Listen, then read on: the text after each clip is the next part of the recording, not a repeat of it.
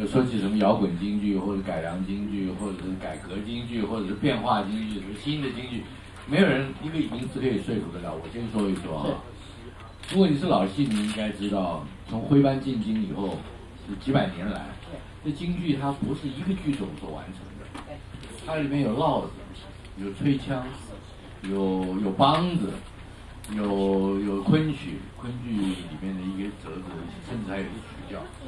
呃，你可以说它从来就不是一个单一剧种，所以摇滚乐何所归之？可是摇滚乐的未来是什么？可能在京剧。摇滚乐有什么未来？对不对？这你到海纳百川去看看谁比较比较变，对不对？那我比较变的时候，你就来靠我。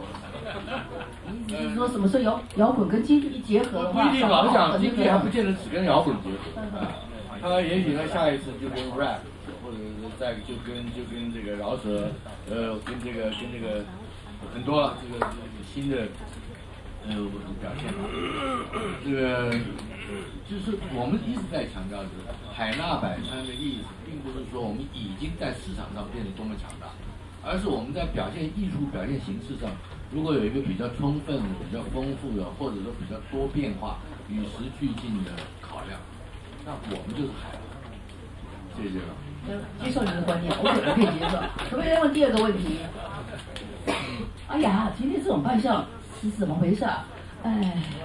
我感觉有点日本味。我我的意思是说，这个创。呃，这就是这这这个服装的设计是怎么来源？我想知道一下。哎，我好，我我是色调又是黑色加黄色，哎是怎么来源？我一头雾水。呃，刚才这个大春老师讲了，呃，这是《水浒传》是一个一群男人一啊，我们讲现在来讲，是黑道的故事，黑帮的故事，黑金的故事，对吧？啊，那么所以他们全部都以黑。黑色为底，然后身体上面刺的都是金，哎，不管他刺的是呃花还是发配啊，发配到外面的那个还是 一个脸上，脸上都是刺。对，那么我觉得这是我们想要找到水浒传他们的造型，那再从这个造型里面去把它呃时尚化，呃现代化，然后呃跟呃整个的这个戏的呃。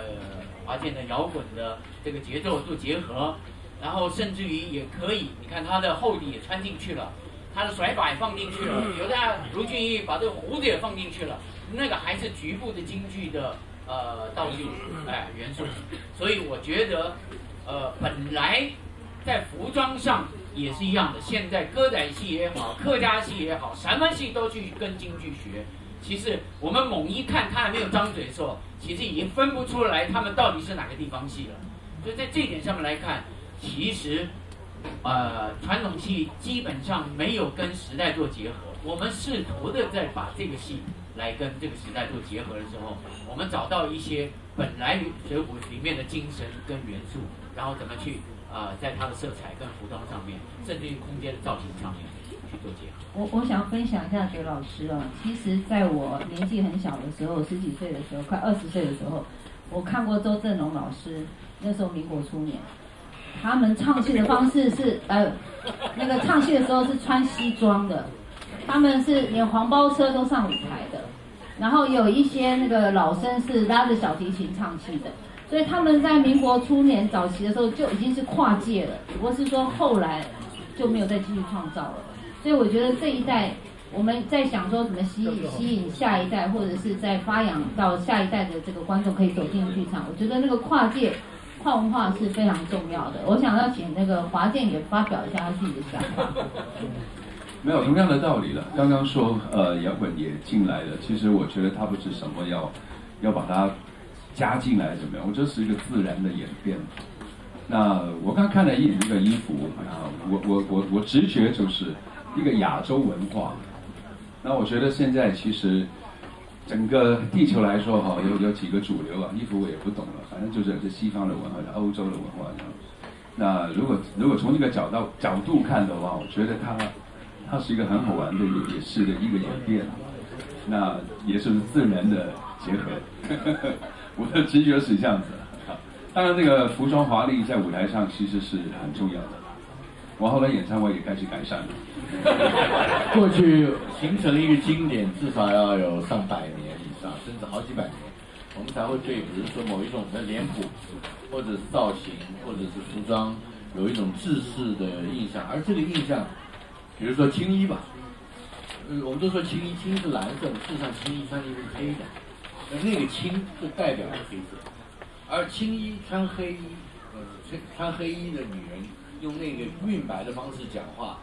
而唱出那样的曲调，那我们就称这个行当叫青衣，而这个固定化也一百一两呃两百年以上。呃，我那么如果我们我们用这个角度去看，固固化一个艺术表现形式，而且让它产生对后世的强大影响，而且后世还呃观众还会说不能再变，不能改变，青衣就是这样，那就表示它被经典化或被正典化，英文叫做 canon。这是一个作用，可是我们今天可能在面临改变，或者是面临改革，或者是希望带来一些新的元素，我们没有那么多时间要让一首一一句，呃，等它一百年固化以后，我们再慢慢的把它再。事实上，我们现在改进，对，我们我们必须第一步就跨出去，而且这个跨出去的时候还得琢磨，懂不懂？比如说，大家可以看鲁智深的造型。在京戏里面，鲁智深的脸是白底，是黑的勾勾围，但是在我们那个这个现场，大家可以看到这个鲁智深，他是自然的脸色，加上了一点白跟黑的变化，他没有把它，就也就是说他的脸本作为一个本素朴的肉脸，他出来，那设计者或者说演员自己设计啊，这多少成分我们不知道。但是他毕竟不是原先的这个剧里面的人，光用这一张脸，我们就知道这个演员画的这个脸，有可能是他希望更还原一点鲁智深这个人作为一个个人的特色。呃，有些东西可能不是那么有意的，有些东西可能是随机的，有些东西可能是巧合或偶然。但是，我想大家如果进剧场，能够去看到的每一个角色。听到的每一个唱腔，都问一声说哇，为什么会这样？那大概问个三个、五个、十个、八个以后，你就会习惯，而且融入这个剧，甚至你已经会有所有的答案。